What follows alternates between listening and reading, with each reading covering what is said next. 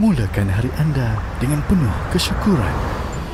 Buka matamu, gapai impianmu. Temu kita kembali dalam Ummah Today. Layari portal kemanusiaan, berita dalam dan luar negara. Berkongsi manfaat demi ummah, agama, bangsa dan negara. Dari ummah untuk ummah. www.ummahtoday.com.my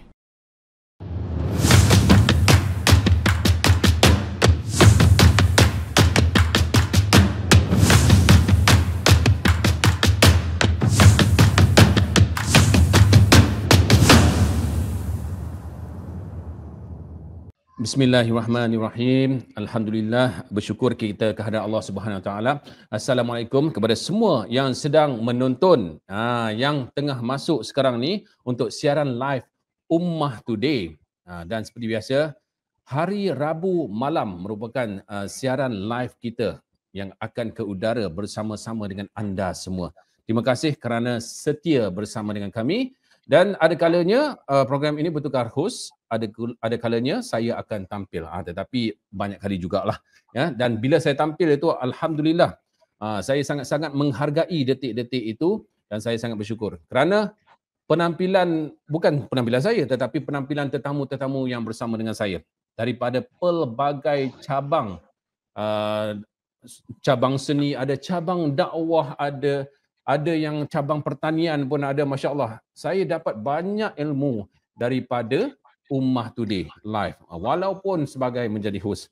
Ah, Alhamdulillah itu adalah ah, nikmat yang Allah berikan kepada saya dan pada malam ini ah, semua dah nampak lah wajah siapakah yang berada bersama-sama dengan saya.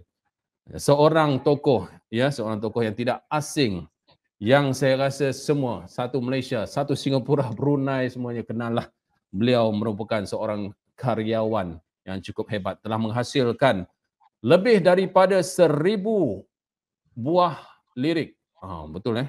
Gak ya, seribu buah lirik. dan eh, saya perkenalkan kepada semua dan saya mempersilakan Datuk Habsah Hasan. Assalamualaikum Datuk. Waalaikumsalam Faizal. Alhamdulillah bertemu di udara kita. Hmm. Alhamdulillah saya pun sebenarnya dah lama sangat tak ber, uh, tak bertemu dengan Datuk. Saya rasa paling akhir sekali masa kita di apa menjadi juri di Sri Angkasa Anugerah Sri Angkasa macam tu. Bersama-sama pada ketika itu. Hmm. Alhamdulillah. Kak Cha dia eh. Kak Cha dulu dan sekarang. tak berubah. baik, baik, baik, baik. InsyaAllah. Kak Cha, hmm. terima kasih banyak-banyak kerana sudi bersama dengan Ummah Today secara live. Uh, dan hmm. pada malam ini eh, saya diper, dipertanggungjawabkan ya untuk interview Kak Cha dan saya bila ditanya uh, uh, apa free ataupun tidak untuk interview pada malam ini dan apabila dapat tahu yang uh, saya bakal interview Datuk Afzal Hassan inilah dia. Alhamdulillah saya terus kata saya lock date ini.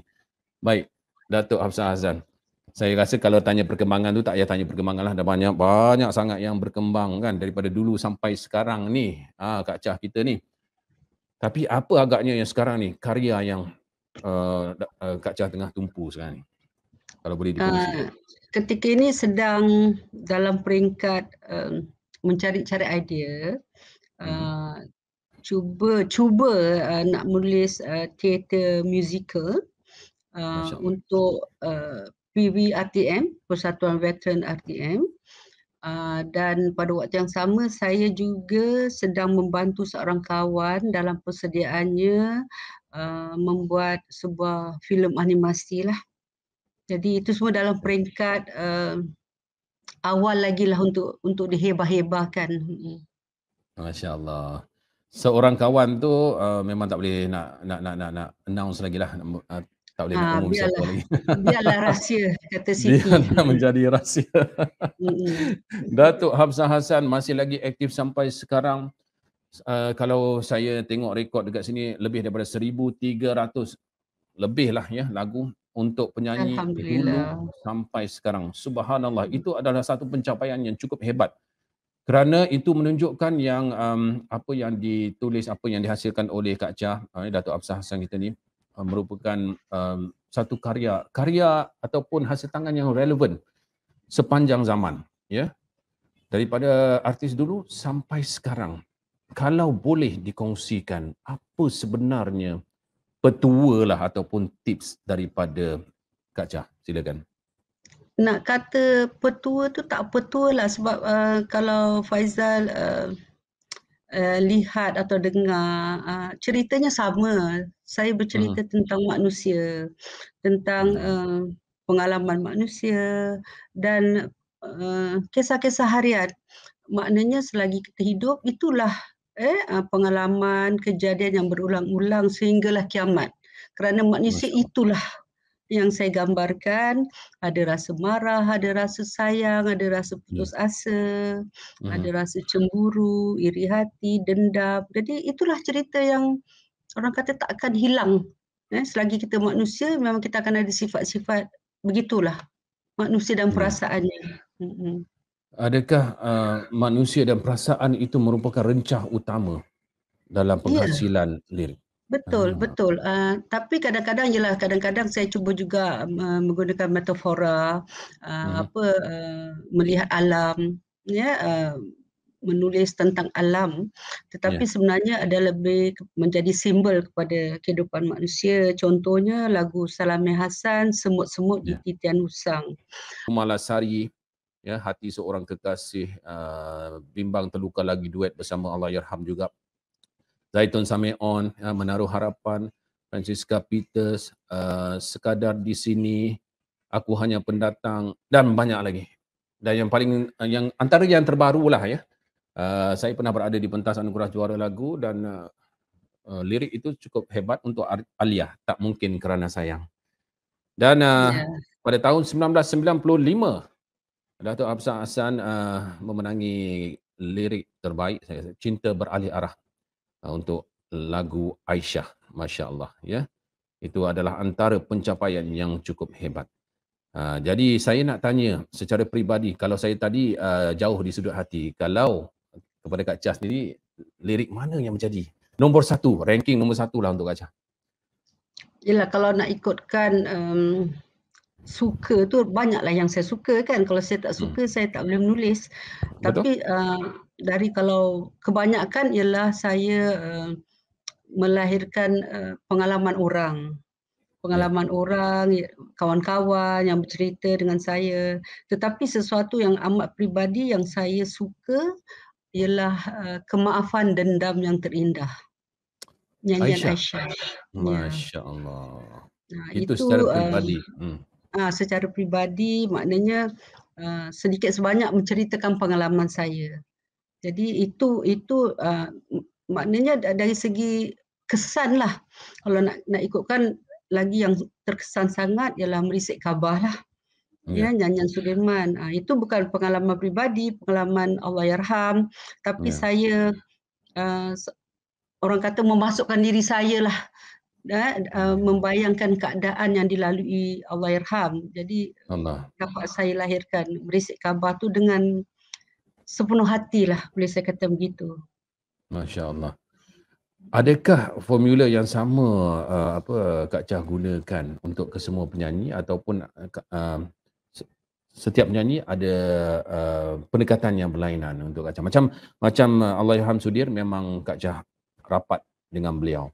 Tetapi macam yeah. penyanyi lain macam Aisyah, Francisca semua tu macam mana uh, Kak Cah hasilkan? Semuanya tu tak tak rapat lah. Saya kenal lah. Sekadar kenal hmm. lah boleh katakan mungkin saya lebih rapat dengan Faisal lah kalau nak katakan dari segi hubungan persahabatan. Dan, tapi saya kenal mereka dan mereka kenal saya. Tetapi saya tidak tahu tentang cerita peribadi mereka sebagaimana saya tahu tentang Allah Yarham. Ya. Tapi uh, kerana uh, macam saya katakan tadi, uh, mungkin uh, apa uh, kalau saya nak katakan petua ke ataupun tips ke yang boleh jadikan lagu itu digemari kerana hmm. lagu itu dinyanyikan uh, dengan feeling oleh penyanyinya dan ya. lagu itu tentang pengalaman setiap manusia. Sebab setiap saya manusia. rasa setiap manusia mesti melalui alam percintaan, melalui ya. alam kekecewaan, diuji dan sebagainya, suka duka. Jadi kerana kerana kita hanya boleh suka sesuatu yang dekat dengan hati kita.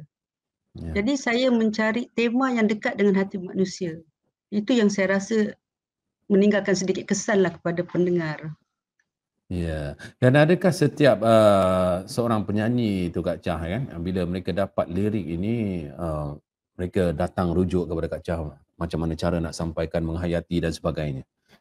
Tidak, tidak. Macam saya katakan uh, dulu waktu uh, pembabitan saya dalam penulisan zaman dulu tu ada juga uh, saya dijemput ke studio untuk ha. menyaksikan rakaman dijalankan tapi uh, makin lama makin tak ada lagi hubungan uh, kata orang uh, komunikasi tu tak ada eh? Mm-hmm. dan uh, saya pun tak pernah dihubungi oleh penyanyi uh, mengatakan tolong ceritakan tentang ini tentang itu. Tak adalah.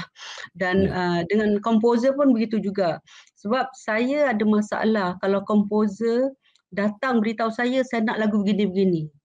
Saya nak tajuk begini. Saya akan ada masalah. Sebab uh, orang kata tiba-tiba saya dah rasa diri saya terikat ah. dan saya rasa saya telah diada saya terus diletakkan dalam pagar ya. jadi bila bila saya rasa begitu uh, idea saya tak dapat keluar dari pagar yeah.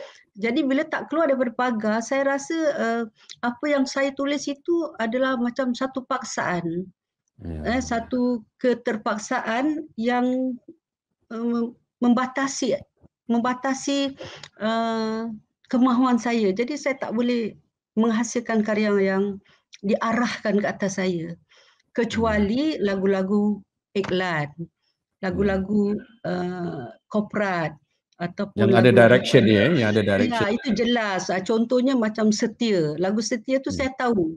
Eh, Allah. Maksud yang hendak digambarkan, yang di, di, dihajatkan, uh, difahami oleh pendengar.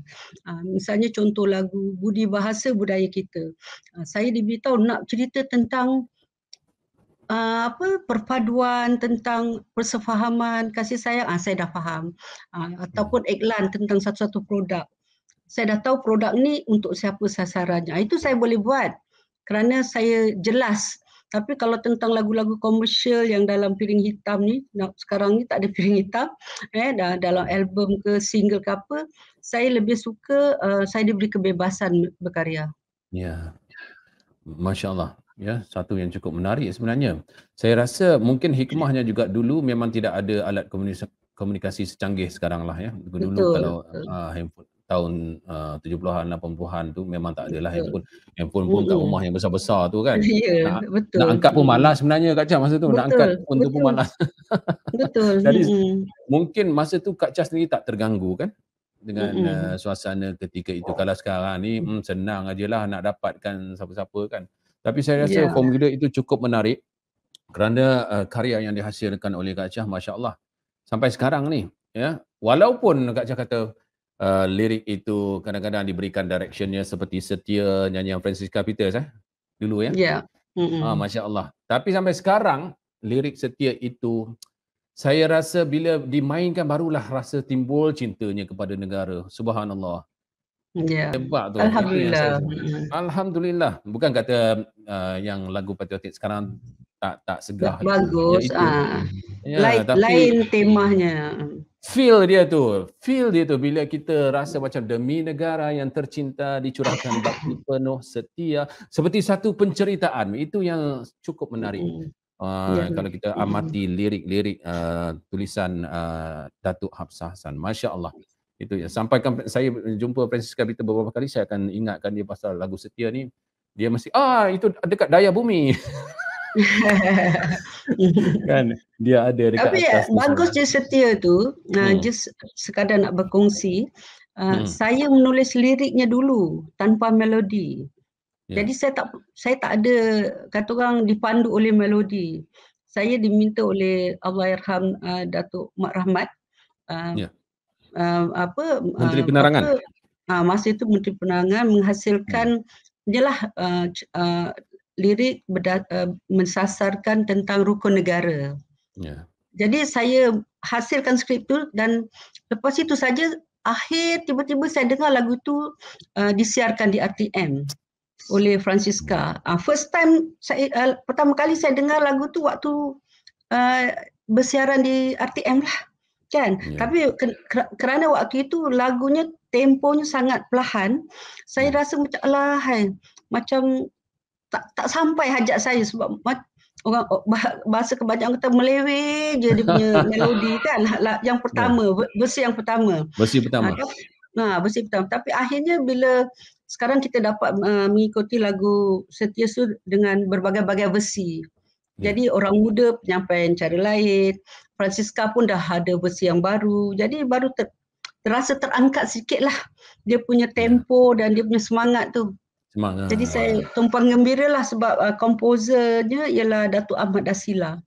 Benar. Saya pun tak tahu Datuk Ahmad Dasila uh, membuat lagunya. Ahmad Dasila pun tak tahu yang saya menghasilkan liriknya. Yang tahu hanya Datuk Mak Rahmat. Ya, Masya Allah.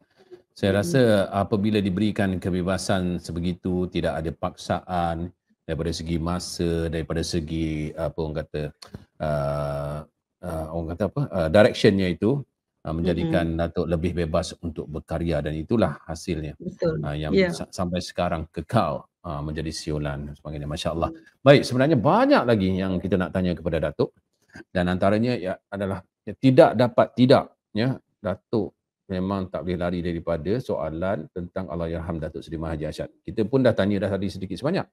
Tapi hmm. selepas ini, uh, walaupun saya sebenarnya dah beberapa kali, beberapa kali juga bertanya kepada Datuk kan.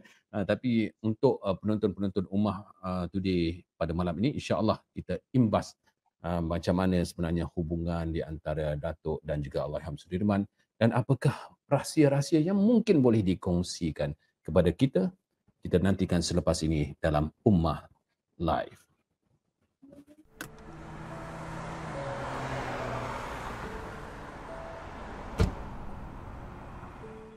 رب اشرح لي صدري ويسر لي أمري واحلل عقدة من لساني يفقه قولي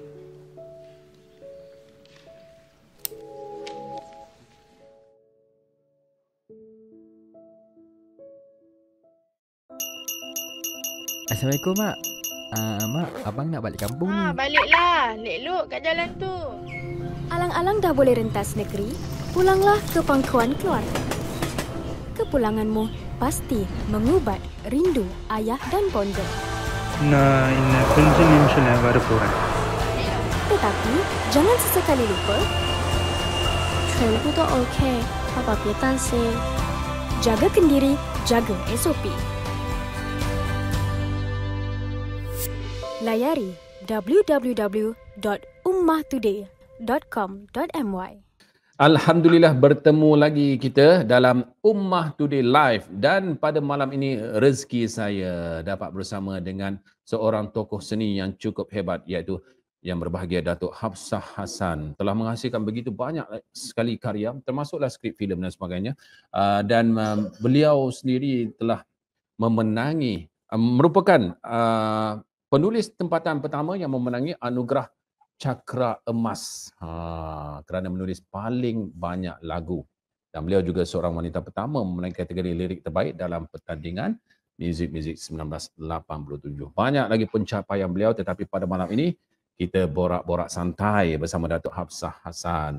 Uh, kerana uh, selain daripada uh, apa cara menulis yang kita dengar tadi itu, macam mana dapat inspirasi dan sebagainya kita juga ada soalan-soalan lain seperti uh, keakrapan uh, Datuk Hafsah sendiri bersama dengan uh, seorang lagi uh, tokoh nyanyian yang cukup hebat di dalam negara kita iaitu Allahyarham Datuk Sudirman Haji Arsyad yang pernah menggenggam uh, gelaran penghibur nombor satu Asia. Nah, belum ada lagi sampai setakat ini yang dapat yang dapat menandingi gelaran tersebut. Tapi sebelum uh, saya bertanya soalan uh, Datuk uh, dengan Allahyarham Datuk Sudirman Haji Arsyad, saya nak tanya satu soalan tentang uh, penghasilan lirik ini. Kalau orang kata lirik, kalau nak tulis lirik lagu ni, perlu ada bahasa yang bagus. Perlu menguasai sastra. Ya ataupun tidak Datuk? Uh. Saya rasa uh, ini dalam bidang penulisan kan, lirik ni walaupun bunyinya macam senang tapi uh, tetap kita uh, penulisnya harus menguasai bahasa lah eh Hmm. menguasai bahasa uh, mempunyai kata orang um, pembendaharaan kata yang luas lah Hmm. saya rasa itu pen, penting sangat sebab kalau tidak kita tak dapat uh, men, men, melahirkan uh, karya kita tu sepenuhnya dengan makna yang betul kerana kesilapan penggunaan bahasa ataupun pemilihan perkataan. Jadi sama ada uh, lirik ini dapat diiktiraf sebagai karya sastra, kita serahkan pada Dewan Bahasa dan Pustaka lah.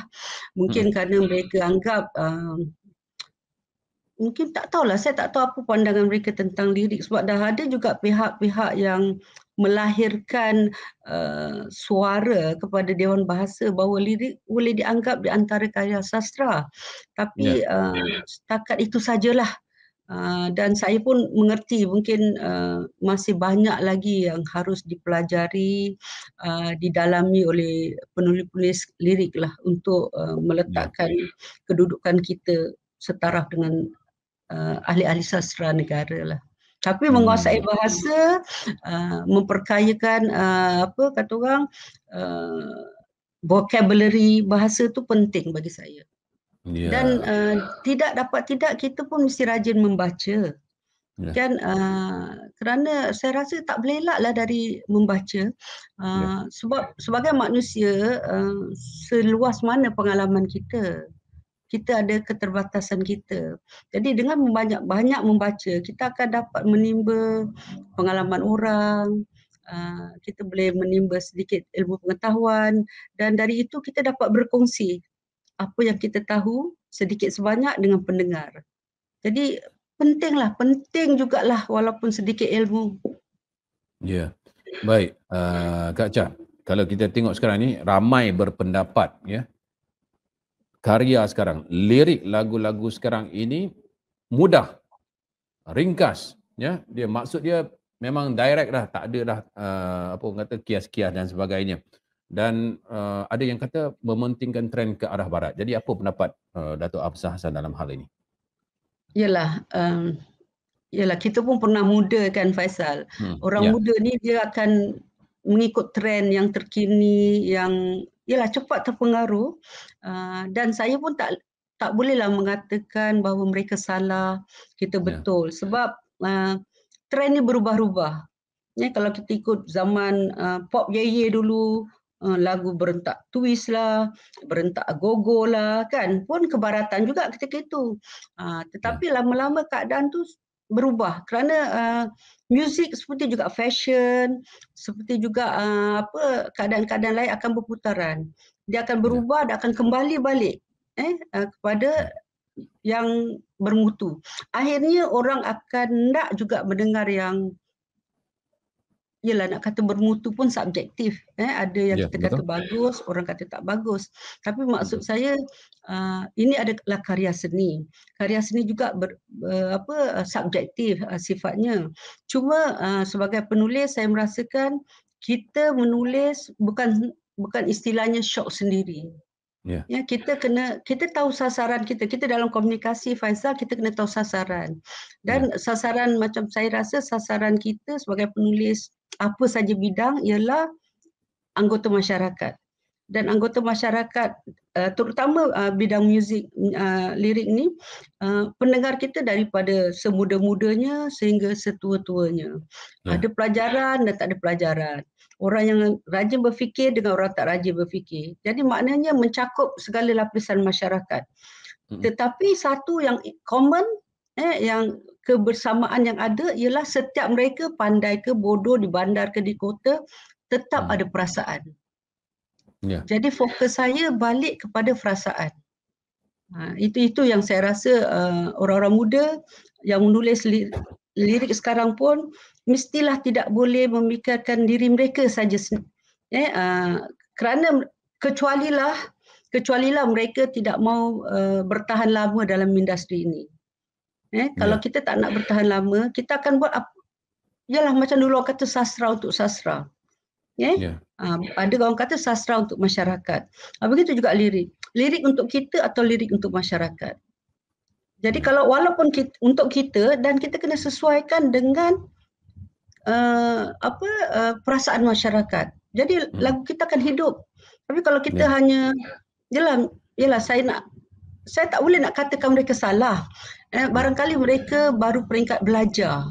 Yeah. Tapi kalau mereka hendak hendak bertahan lama, hendak karya mereka uh, diingati, mereka harus serius lah saya rasa. Sebab bakat yeah. dah ada. Eh, bukan semua orang dilahirkan berbakat. Ini satu anugerah. Jadi alang-alang dah ada anugerah tu, mereka hendaklah membuat yang seterbaik mungkin. Yeah. Dan Datuk baru-baru ini juga ada menyebut uh, ada ada memberikan komen tentang um, artis-artis segera segera ni uh, yang dikatakan boleh menjejaskan uh, apa pasaran muzik tempatan kita lah. Jadi hmm. yang yang itu Datuk uh, halakan kepada siapa sebenarnya? Yang macam mana? Uh. Tak, saya enggak yalah uh, segera ni maknanya bagaimana mudahnya datang begitu juga mudahnya pergi. Mm-hmm. Ya. Jadi ramai semua orang nak jadi penyanyi. Semua orang nak jadi komposer, semua orang nak jadi pengarah, jadi pelakon, begitulah. Uh, yeah. Tak salah, hendak tak salah, tapi kesungguhan tu ada ke tak ada. Yeah. Uh, itu itu yang saya katakan tak maulah macam macam mi segeralah. Kita akan yeah. ada hanya satu album yang meletup-letup lepas tu dah diam. Yeah. Ha, ramai yang begitu. Kita kita kena konsisten lah dalam apa saja kita buat. Yalah dalam istilahnya istiqamah lah. Kan? Kena istiqamah lah juga kan. Kalau hmm. kalau nak bertahan ataupun uh, memang serius dalam industri kita boleh. Kerana bukan saja uh, kita hendakkan lagu itu popular kerana hmm. lebih lama lagu kita bertahan dan kalau lagu kita itu boleh akhirnya menjadi lagu malas segar yang untung kita juga. Ya. Yeah. sebab sewaktu saya menulis dulu saya tak dapat bayaran.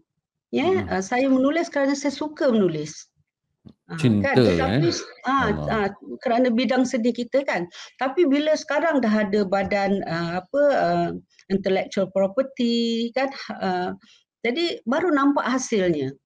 Jadi yeah. saya nak uh, memberitahu pada penulis muda ni kamu kena serius kerana apabila karya kamu ni boleh bertahan lama dan disukai ramai ada pendapatan untuk kamu di masa depan. Jadi tapi ramai yang ya. sekarang ni sekarang ni ramai yang nak pendapatan itu segera kerana konsep ha, viral.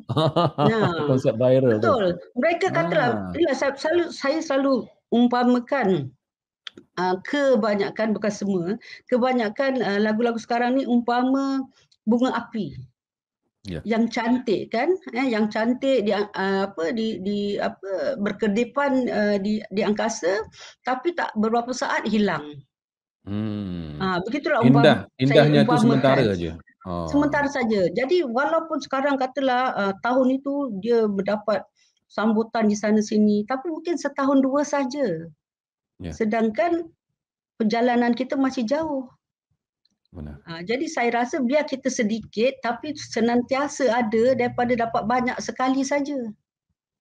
Hmm. Pandangan saya lah mungkin tak betul mungkin orang muda tak suka kan tapi itulah uh, daripada pengalaman ni saya bercakap. Kalau orang biasa-biasa bercakap tak apa. Kalau Datuk Absah Hassan cakap dia orang tak dengar saya marah ni Datuk. tak boleh kan budak-budak sekarang kan pandai. Hmm. Allahu akbar. Ya, uh, dengan uh, karya yang 1300 lebih lebih daripada itu, itu bukan sesuatu yang mudah sebenarnya. Sebab itu yang uh, apa Datuk Hamzah Hasan bukan menghasilkan karya yang hanya bunga api sahaja ya. Ha, itu yang kita boleh ni. Uh, ini ini ini pendapat pribadi saya dan mungkin ramai lagi yang lain di luar sana. Kerana nama Datuk Hamzah Hasan itu sampai sekarang relevannya. Ah, dan memang sudah menjadi uh, satu apa ikon lah, seorang ikon seorang ikon dalam industri seni uh, negara kita. masya-Allah. Okey uh, kita nak beralih kepada soalan yang saya tadi daripada tadi saya duk apa tease kan? Iaitu uh, tentang Allah Allah yarham Datuk Sudirman Haji Arsyad okey secara peribadi um, bila masanya Datuk mula rapat dengan Allah yarham Sudir? Silakan uh, saya rasa saya mula rapat dengan Allah Yarham ni setelah saya menghasilkan lagu terasing. Ya. Ya. Saya dah mengenali Allah Yarham lebih awal kerana daripada mula Allah Yarham mem, apa membuat rakaman EP dulu EP uh, cuma empat lagu saja satu satu album saya telah bersama Allah Yarham di studio uh, waktu mula-mula uh, rakaman yang pertama tapi sekadar begitulah kan? Uh, kenal tapi belumlah mesra maksudnya gitu. Tapi bila uh, walaupun tidak semua boleh katakan hampir setiap album Allahyarham kalau tidak banyak pun ada satu lirik yang saya tulis kan? Uh, tapi lepas uh, rakaman terasing tu Allah Allahyarham lebih kata orang sikap terbuka eh? Dia ni pun orangnya yang mudah mesra eh? Uh, yang kita uh, kita pun mudah sayang eh, dengan dia ni sebab uh, sikap dia yang kata orang yang manja, sikapnya yang suka bertanya, sikapnya uh, yang berkongsi kepandaian, uh, dia tak lokek orangnya. Uh, jadi kita jadi rapat. Uh, saya anggap dia seperti adik saya lah. Saya boleh kata yeah. begitu. Uh, dan akhirnya uh, kerana tak tahu saya nak kata macam mana ya. Uh, mungkin chemistry uh, tapi maknanya akhir-akhir kita macam tak ada rahsia hmm. ya. Uh, Allah yarham uh, semudahnya berkongsi uh, cita-cita yeah. harapan pengalaman kehampaan dia. Jadi itu sebab saya rasa menulis untuk dia mudah bagi saya kerana saya meletakkan diri saya dalam kedudukan dia jadi keakrabannya begitulah.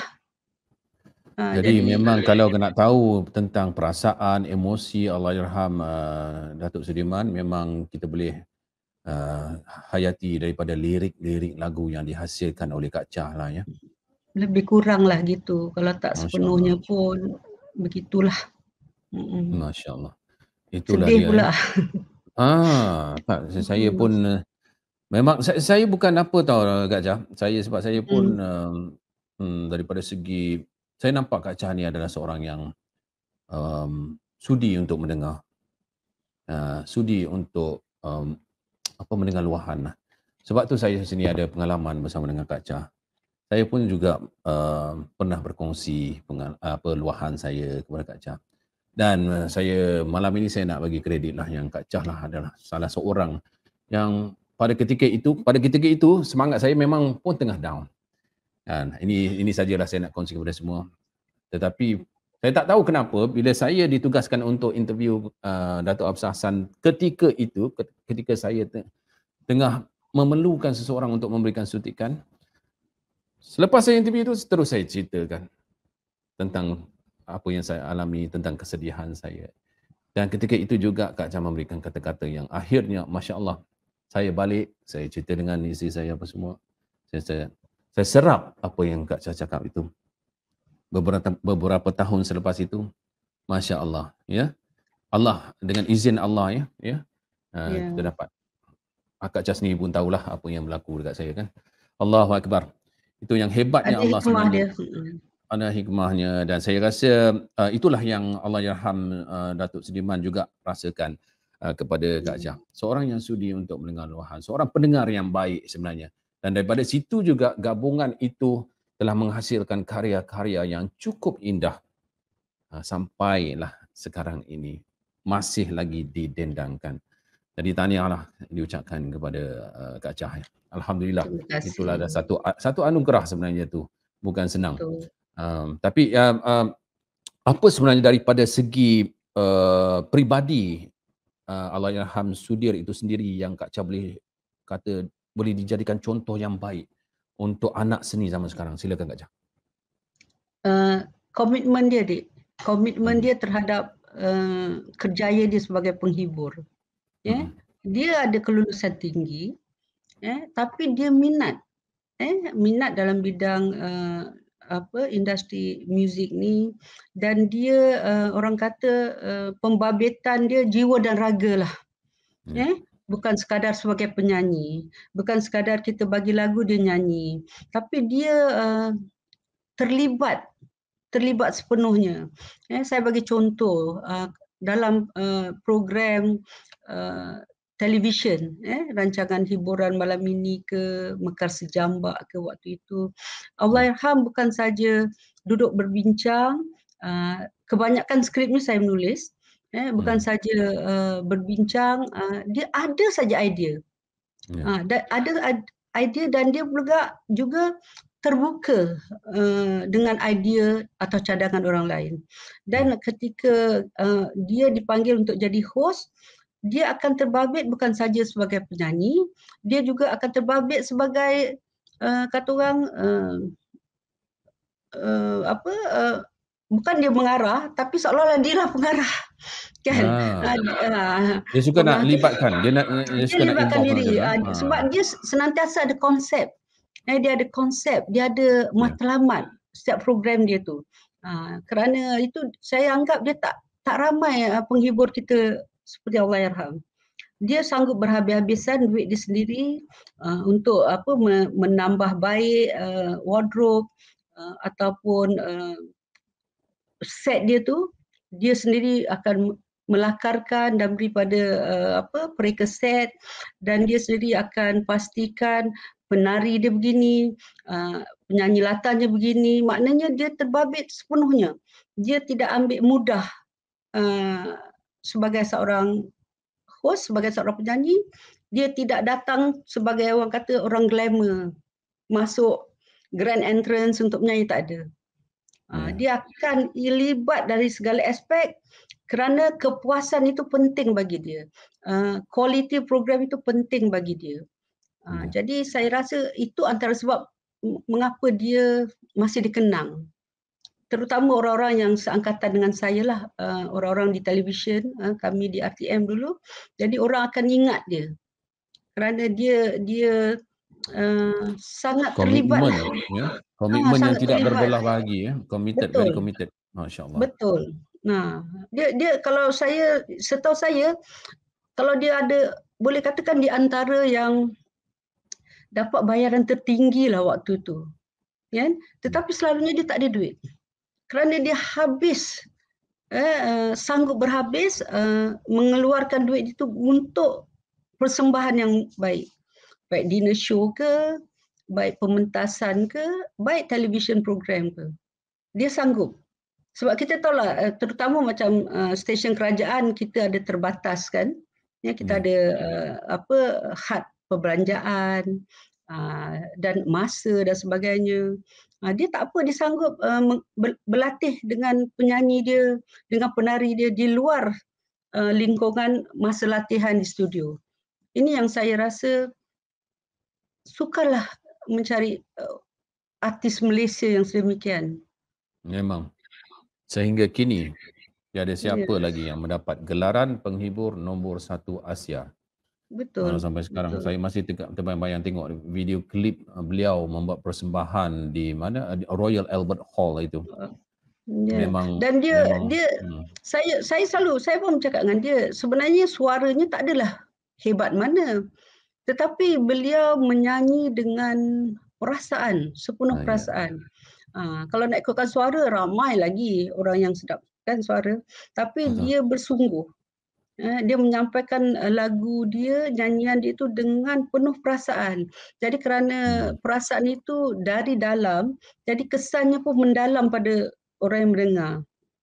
Itu, itulah Sudirman.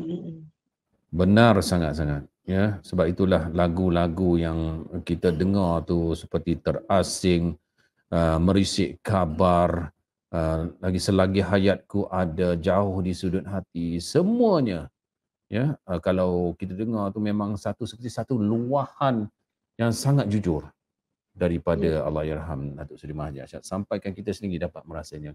Apatah lagi mereka yang mungkin pada masa itu pun mengalami saat-saat yang ya keadaan yang hampir sama seperti yang uh, digambarkan dalam lirik lagu tu. masya-Allah. Baik kita akan berhenti berehat seketika dan kembali selepas ini. Um, ada sesuatu yang menarik uh, tentang lagu salam terakhir yang mungkin Datuk boleh kongsikan. Selepas ini jangan ke mana-mana. Semuanya dalam Ummah Today live.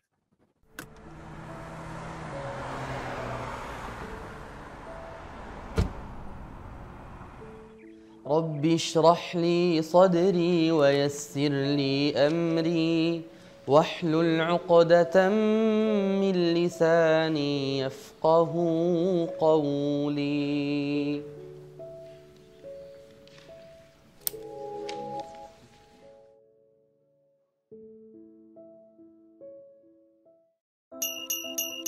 Assalamualaikum mak. Ah mak, abang nak balik kampung Ha, ni. baliklah. Lek Luk kat jalan tu. Alang-alang dah boleh rentas negeri, pulanglah ke pangkuan keluarga. Kepulanganmu pasti mengubat rindu ayah dan bonda. Nah, ini kunci ni macam ni ada. Tetapi, jangan sesekali lupa. Trail pun tak okay Apa pihak tansi. Jaga kendiri, jaga SOP. Layari www.ummahtoday.com.my Baik, Alhamdulillah bertemu lagi kita dalam Ummah Today Live dan pada malam ini cukup bertuah kita bersama dengan tokoh seni, uh, seorang penulis lirik, uh, penulis skrip, karyawan yang cukup hebat iaitu Datuk Hafsah Hassan. Terima kasih Datuk kerana sudi bersama dengan kami dan saya sendiri secara peribadinya sangat-sangat bersyukur dapat bersama dengan Datuk kembali setelah beberapa tahun Masya Allah. Alhamdulillah. Lama tak jumpa. Itulah. Lama betul. Ha, mudah-mudahan kita dapat bersemuka lah satu hari nanti. InsyaAllah. Tidak di sini di Tanah Suci, Dek. Amin. InsyaAllah. Ramai ramai yang bila saya jumpa kat sana kata, "Oh, kat Malaysia tak jumpa. Kat sini kita jumpa." Ha, itulah dia pertemuan yang barakah InsyaAllah. insya-Allah. Betul. Uh, dan uh, Datuk kita uh, sebelum berehat tadi saya dah uh, beritahu uh, tentang lagu Salam Terakhir kerana ramai orang yang kaitkan lagu itu dengan pemergian Allahyarham Datuk Sudirman Haji Arsyad. Tetapi sebaliknya ada kisah lain. Silakan Datuk.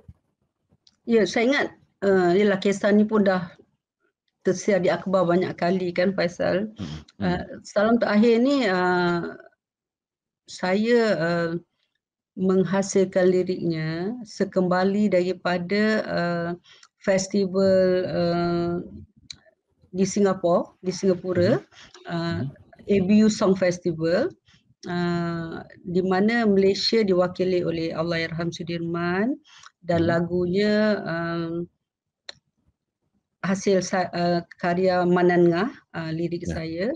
Uh, jadi kita di sana lepas pertandingan biasalah kita duduk-duduk bersembang kan. Jadi saya masa tu uh, mendiang Mike Berni, mendiang Mike Berni ialah pengurus uh, Sudirman. Saya dan wartawan terkenal waktu itu Sauda Ismail. Kami Ya. duduk bersembang dalam bilik uh, di Equatorial Hotel Singapura. Saya ingat betul di bilik Allahyarham berceritalah tentang pertandingan. Biasa cerita itu cerita itu ini sehinggalah bercerita tentang pribadi. Saya juga memulakannya sebab saya suka mencabar Allahyarham ni. Sebab dia selalu menceritakan benda-benda yang negatif-negatif. Saya selalu mencabar, mencabar dia dan marah dia. Ya. Uh, dan itulah saya kata, uh, saya pun panggil dia adik juga. Saya kata kalau awak awak petik jari 10 datang. Saya cakap begitulah. Kan, uh, kenapa awak mesti nak kenang-kenangkan, nak menyorot-nyorot masa lep- lepas. Sudah, yang sudah-sudah. Saya kata setiap orang ada kehidupannya dan awak teruskan. Jadi itulah dalam cerita itu, panjanglah cerita tentang tu.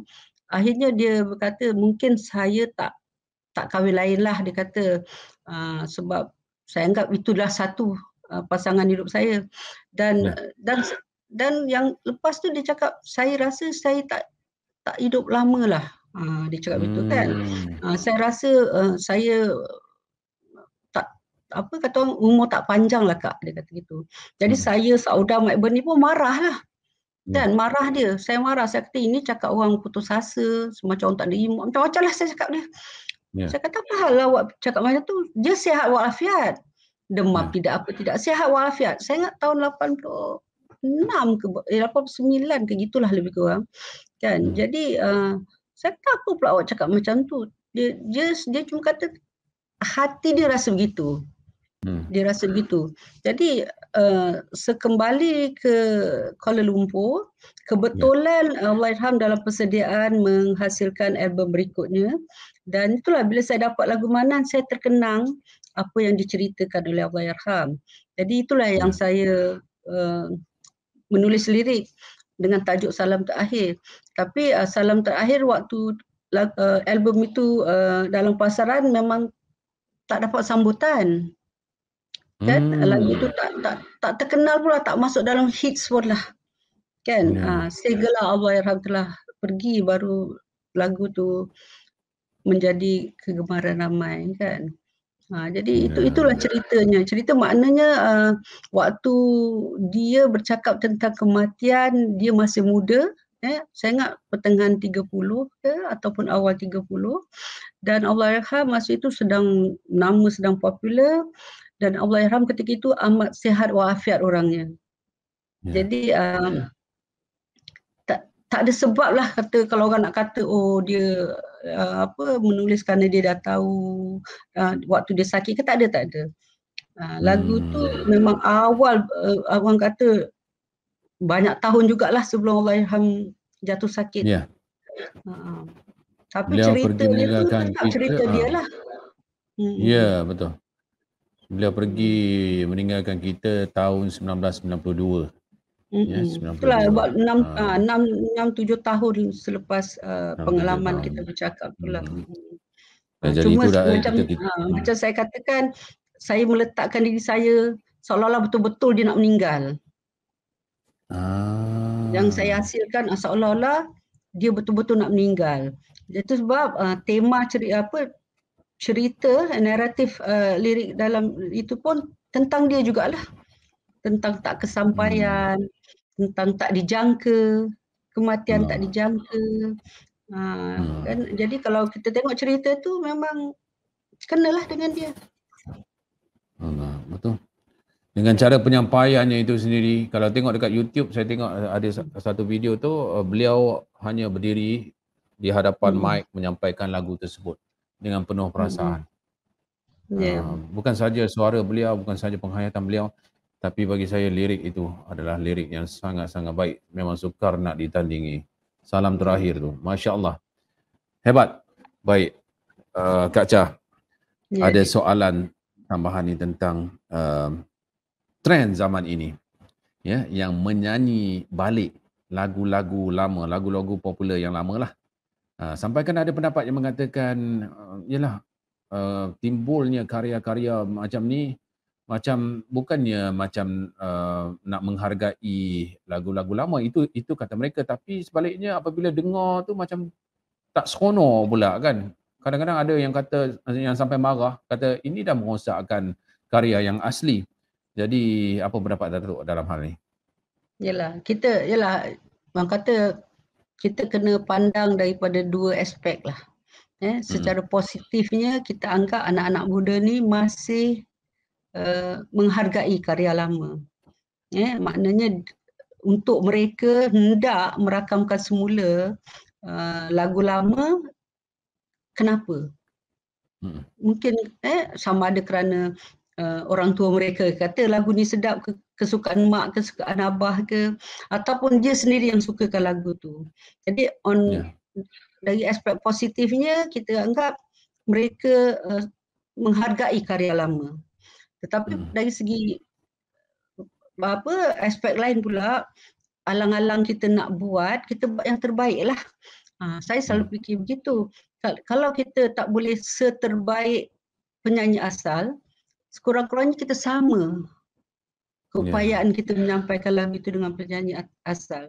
Eh, kalau kita nak berubah, nak meng, me- apa, ubah tempo ke, ubah apa, uh, gubahan lagu ke itu biasalah. Sebab kalau kita tengok uh, lagu-lagu barat pun banyak versi lagu-lagu Ya. lama yang diperbaharui. Tapi sedap pula Betul. kan uh, sedap pula kita tak ter walaupun kita rindu penyanyi asalnya katalah lagu Elvis ke lagu lagu lama lah tapi kita boleh terima uh, versi baru oleh penyanyi baru.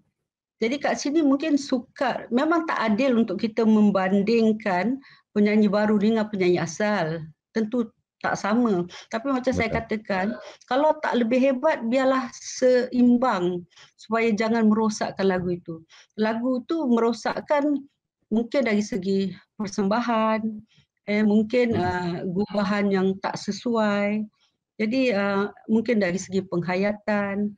Jadi bagi anak-anak muda kita ucap terima kasih kerana dia nak mengambil karya lama uh, untuk dihidupkan semula. Dalam pada pada waktu yang sama kita harap mereka buat yang lebih baik. Kalau kita tak boleh buat lebih baik, baik tak usah. Kan? Ya. Sebab kita mengecewakan. Nanti bukan saja mengecewakan orang yang pernah meminati lagu itu, malah mungkin ya. dikritik pula oleh generasi seangkatan mereka. Lagu apa yang kau buat ni? Kan? Hmm. Ha, tak, menarik pun pada kita. Orang muda mungkin fikir ya. begitu. Tapi kalau dia boleh buat baik, mungkin orang muda yang ada ni pun turut suka lagu lama.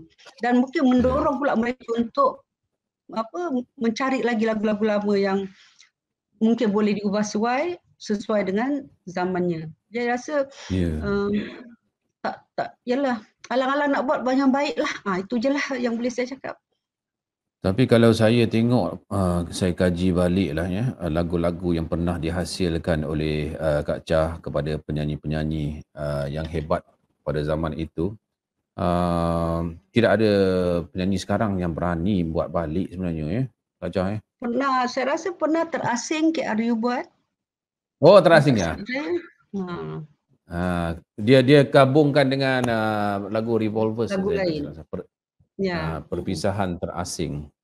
Hmm. Uh, kalau yang contoh macam tu uh, okeylah ya sebenarnya. Itulah itulah saya kata uh, hmm. mungkin boleh lebih baik daripada itu. Kan? Ah. Sebab expectation orang kan uh, harapan orang mesti nak lebih baik itu je.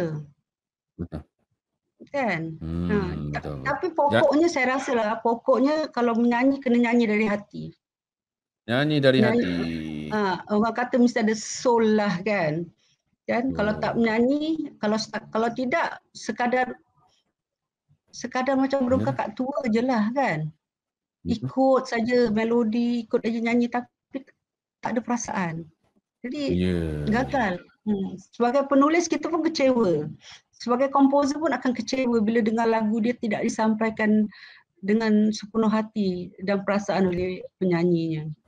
Tapi saya Adakah okey? Ha. Ini sajalah hasil daripada uh, apa rentetan daripada soalan itu saya tanya adakah Datuk Afsah Hasan akan uh, bertanya dulu siapa penyanyi ni kalau komposer tu hantar lirik dekat uh, hantar untuk apa uh, melodi itu untuk uh, Datuk hasilkan lirik kalau ya, kalau tapi, katakan penyanyi itu penyanyi itu uh, macam Datuk kata macam eh kurang feel Datuk mungkin tolak ke atau macam mana? Uh, nak tahu juga tu. Hmm. Tak kebanyakan penyanyi ni terutama yang baru-baru saya tak kenal. Ah, saya tak kenal kalau okay. kalau saya kata kalau Faizal bagi saya melodi tu kalau saya tanya Faizal siapa pun Faizal cakap saya tak tahu. Hmm. Saya biasanya kalau komposer bagi saya akan tanya perempuan ke lelaki ke berapa usia mereka. Ah, Sebab okay penting bagi saya uh, lagu tu uh, apa memperlihatkan kedewasaan ataupun ke anak-anakan penyanyi tu. Uh, kan? Dan kalau lelaki lain pula uh, sudut lelaki yang saya kena karya uh, berkarya dari sudut pandangan lelaki kalau perempuan dari sudut perempuan. Kalau kanak-kanak dari sudut kanak-kanak. Jadi itu itu penting bagi saya. Tapi sama ada uh, penyanyi itu dapat menyampaikan sepenuh hati perasaan. Saya rasa itu adalah tanggungjawab uh, penerbit album. Uh, hmm. producer tu. Pada saya lah macam pengarah lah dalam drama. Kalau pengarah tak kisah pelakon pun hanya bercakap sajalah tak ada perasaan. Hmm. begitu juga dalam menyanyi saya rasa penerbit ada komposer dia jadi dia penerbit. Ada komposer dia hanya kompos saja. Jadi kom, hmm. penerbit di dalam studio tu penting. Dan dia sendiri mesti penerbit tu pun sendiri mesti menghayati lirik tu. Ya benar benar jadi saya eh, saya dah saya dapat rasakan era 80-an, eh, 90-an semasa Kak Chan menghasilkan lirik-lirik yang begitu puitis, begitu hebat sekali dan lagu itu meletup juga adalah kerana gabungan di antara lirik yang hebat dan juga penyanyi yang bagus. Penyanyi Betul. yang ada soul, penyanyi yang Betul. ada feel. Sebab itu um, ya pada masa itulah ya. Maknanya kalau masa itu ni, kalau uh, masa itu kan uh, Faisal Yeah. Dulu satu album 10 lagu Faisal. Ya. Yeah. Yeah. Waktu zaman saya satu album 10 lagu. Jadi maknanya hmm. ada 10 komposer or penulis lirik ataupun mungkin uh, penulis lirik buat dua tiga. Jadi pendengar ada pilihan Faisal. Kan? Ya. Dulu pendengar memilih bukannya uh, juruhebah yang menentukan lagu mana nak dinaikkan atau diturunkan. Sebab Ya. Kalau kalau Faizal mungkin Faizal tak ingat eh masa zaman Azrina Aziz satu album Hmm. dia boleh katakan semua lagu dia hit. Ya. Ha, kan Sudirman pun satu album banyak lagu hit. Tak Ya. macam zaman sekarang. Eh, zaman Betul. sekarang saya rasa ditentukan oleh uh, syarikat rakaman ke, PRO Ya. ke yang nak ah, lagu ni tolong letupkan letupkan. Tapi saya Ya. rasa uh, keadaan ni tak sihat. Tak sihat untuk jangka Industri. jangka masa yang lama ha, uh, tidak sihat untuk industri. Sebab apa yang disukai oleh PRO ke syarikat piring hitam ke belum tentu disukai oleh masyarakat. Kan? Ya. Ha, tapi uh, itulah saya kata stesen pun salah. Ya, yeah, stesen salah, yang orang yang main lagu tu pun salah sebab seolah-olah mereka tak tahu menilai lagu bagus atau tak bagus. Kan? Itu itu yang sayang. Ya, Jadi benar. kerana itu kita dapati sekarang banyak-banyak lagu yang sia memang sekejap saja usia jangka hayat dia. Hmm. Sebab maknanya itu hanya lagu syok sendiri. Kan? Lagu tu dari segi nilai mungkin dari segi muziknya tak tak tak tak puas dari segi melodinya, dari segi liriknya, uh, gubahannya dan mungkin penyanyinya.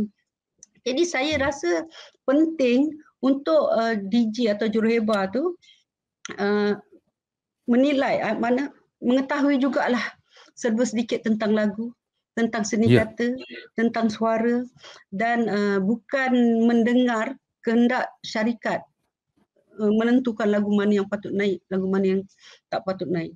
Sebab pada pandangan saya lagu ni walau macam mana tak sedap pun kalau hari-hari dengar lama-lama orang uh, mendendangkan dan juga dalam fikiran dan perasaan dia. Sebab Ya. hari-hari dengar, pagi, petang, siang, malam dengar. Ah, tapi bukan kerana dia suka. Kerana tiap-tiap hari dia dengar. Tapi bila lagu tak kedengaran lagi, dia pun lupa lagu tu. Ya. Kan? Tapi kalau lagu Ya. tu memang bagus, walaupun lagu tu dah tidak berkumandang, mereka tetap dengar. Hmm. Itu sebab yang kita katakan malas segar tu. Ada lagu Malas malas segar. segar. Ya. Ya, Saya saya boleh rasakan itu ada kaitan dengan uh, ledakan emosi uh, ataupun luahan perasaan yang cukup uh, mendalam ketika era 80-an, 90-an ya. Di saat pada masa itu hubungan uh, cinta sesama manusia ketika itu tidak melalui WhatsApp, tidak melalui Yeah. telefon kan melalui Mm. hanya surat saja dan Mm. lagu itu merupakan satu karya yang boleh menjadi utusan uh, yang Yeah. yang me- menyambungkan di antara dua jiwa Hmm. itu. Ah, menjadi itu yang titian, membuat menjadi titian. Menjadi itu titian. yang lah. ya kerana pada masa itu kita tidak ada perantaraan lain ya. Kita ada hanya surat sajalah ya yang mungkin beberapa hari Ataupun telefon sampai. yang berat tu. yang berat nak diangkat tu kan. Ha, jadi itulah lagu memainkan peranan yang cukup penting ketika itu tapi sekarang ni semuanya mudah, semuanya pantas ya menyebabkan Ya. lagu-lagu pun menjadi segera. Ah, Yalah zaman saya. zaman saya Faisal kalau boleh saya berkongsi zaman saya banyak lagu-lagu permintaan di udara. Ya, benar. Ah itu yang Faizal kata lagu menjadi penyampai penyampai hasrat hati. Mm-mm. Eh, lagu ini dikirimkan oleh si Polan kepada si Polan kepada si Polan dengan pesanan hayatilah uh, lagu ini. Uh, jadi lagu tu ada membawa makna kepada orang yang men- mengirim dan kepada orang yang mendengar. Masya Itu Allah. bagusnya. Ya, tapi yang saya yang yang cukup mengkagumkan lagu-lagu itu, lagu-lagu yang dulu juga anak-anak muda sekarang menyanyi. Ah, kalau ah, itu maknanya jiwa itu sangat kuat. Jiwa lagu ketika itu. Baik, ah, mungkin satu penutup ah, daripada Datuk Hafsah Hassan ya kepada ah, generasi muda yang berhasrat untuk terlibat dalam bidang penulisan lagu. Ah, ini pesanan lah ni, silakan. Saya uh, saya rasa uh, bukan semua orang dianugerahkan Tuhan bakat ya. Jadi pada mereka yang mempunyai bakat dari segi uh, apa composition, dari segi penulisan lirik, menyanyi, berlakon whatever lah. Alang-alang dah ada bakat tu, kita buat yang seterbaik. Sebab saya selalu mengingatkan diri saya uh, siapa sasaran saya. Jadi kita ni dalam bidang komunikasi, um, menulis lagu ni pun dalam bidang komunikasi juga. Betul. Kan? Jadi kalau kita mengenali sasaran kita, kita akan lebih mudah berkarya. Satu dan satu kita kena bertanya diri kita, adakah kita di sini hanya untuk sekelipan waktu ataupun kita nak bertahan lama? Sebab saya mengatakan ini boleh menjadi satu kerjaya yang bagus kalau kita hmm. konsisten berkarya. Jadi anak-anak hmm. muda haruslah konsisten berkarya. Maknanya bukanlah memasuki bidang ini hanya untuk glamour yang sebentar. Hmm. Eh, atau hanya untuk kata orang viral eh. uh, viral TikTok gitu. Tidak tidak. Saya rasa kita uh, sebab dia dah ada bakat. Maknanya dia dah ada kalau 10 dia dah ada 50. Jadi yeah. yang 50 tu ialah usaha kita, uh, kesungguhan kita, komitmen kita. Jadi kepada anak-anak muda uh, yang hendak bertahan lama dalam bidang ini, berkaryalah dengan bersungguh-sungguh dan uh, kena jugalah ada sedikit ilmu. Kena rajin membaca, uh, harus eloklah dalam bahasa sebab bahasa Malaysia ni kaya sebenarnya. Jadi kita kenalah uh, berusaha. Uh, saya sampai sekarang Faisal di hadapan hmm. saya ni penuh dengan kamus. Kamus hmm. Inggeris, kamus Indonesia, ya. kamus bahasa Malaysia. Saya masih lagi walaupun saya dah tahu maknanya saya masih lagi buka kamus. Nak pastikan jangan ada tersilap. Jadi yeah. saya rasa itu perlu. Kerana uh, apatah lagi kalau kita jadikan ini mata pencarian, kita hmm. kena bersungguh dan uh, yakinlah kesungguhan itu uh, akan mendatangkan hasil yang yang akan membantu kita lah. Saya Dalam sekarang ni tak ada kerja. Ya, hmm. ada apa-apa saja. Saya tak ada kerja tetap, ada apa kan. Tapi sebanyak sedikit boleh katakan saya uh, lah, uh, berbelanja dengan duit royalty Hasil lah. penulisan, royalty. Ya, Hasil ya, betul. penulisan. Hmm. Hmm. Itulah, jadi boleh boleh jadi mata pencarian sebab kita tak ada pencen, kita tak ada EPF kan. Jadi uh, orang-orang dalam industri ni kena beringatlah. Eh sebab kata orang senantiasa takkan senantiasa je langit tu cerah. Yeah. Kan? Ada masa kemarau, ya ada masa tengkujuh, masa tengkujuh simpanlah air kan. Jadi masa yeah. kemarau boleh pakai air tu. Jadi masa yeah. itulah kalau kita ada pendapatan yang lebih jangan berhabis-habisan. Sebab besok kita tak tahu nasib kita bagaimana. Jadi Benar. itulah pandangan saya untuk anak-anak muda kalau sudi terima. Terbaik ya. Pesanan itu bukan saja untuk mereka yang mahu melibatkan diri dalam bidang penulisan lagu, malah apa saja. itu penting dalam apa saja dalam apa saja yang kita lakukan untuk kehidupan Betul. kita masya-Allah. Ya, Betul. malah mereka yang uh, menjadi penyampai radio sekalipun ya. Iya. Uh, pengacara, pelakon dan sebagainya perlu mengambil iktibar daripada nasihat yang diberikan oleh Datuk Hamzah Hassan. Masya Allah, uh, satu sesi yang cukup-cukup uh, menarik uh, pada saya dan juga uh, saya sendiri menghargai sangat-sangat ya uh, kesudian uh, Datuk Hafsah Hassan untuk bersama dengan Ummah Today Live pada malam ini. Terima kasih ini. kerana sudi mengingat mengingati orang-orang macam kita ni lah, orang-orang lama ni. Terima kasih atas jemputan. Hmm. Terima kasih banyak-banyak. Apa salah silap daripada saya tu, terkurang tu, minta maaf lah ya Datuk ya. Mudah-mudahan Allah kurniakan. Ha, memang Sama benar ha, memang nak jumpa sangat ni saya dengan isteri ni. Hmm. Nak jumpa sangat okay. dengan Datuk insya-Allah. Terbuka anytime. Awak tahu di mana nak cari saya. Insya-Allah. Baik. Terima kasih Datuk ya. Kita jumpa Sama-sama. lagi insya-Allah ya. Assalamualaikum warahmatullahi wabarakatuh. Waalaikumsalam warahmatullahi wabarakatuh. Terima kasih juga kepada semua penonton Ummah Today. Kita jumpa lagi minggu hadapan insya-Allah. Untuk mendapatkan berita-berita terkini luar dan dalam negara, boleh ke laman sosial Ummah Today dan portal berita kami di www.ummahtoday.com.my.